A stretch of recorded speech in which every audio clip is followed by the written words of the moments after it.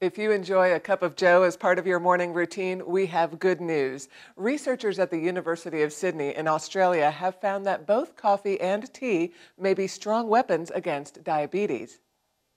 Coffee has been both blamed for heart attacks and credited for protecting parts of the body against cancer. Whether it's beneficial to your health depends on who you ask.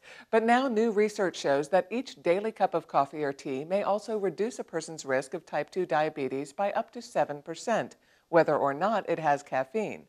The new report is based on data from more than 30 other studies that involved almost a million participants. The researchers say the benefits of coffee and tea appeared evident in spite of other lifestyle factors. This may mean that there's something biologically powerful within coffee and tea, such as antioxidants, that can be protective. But why only 7%? The reason may be that since these chemicals don't last in the body very long, it takes several cups a day for them to make a serious difference.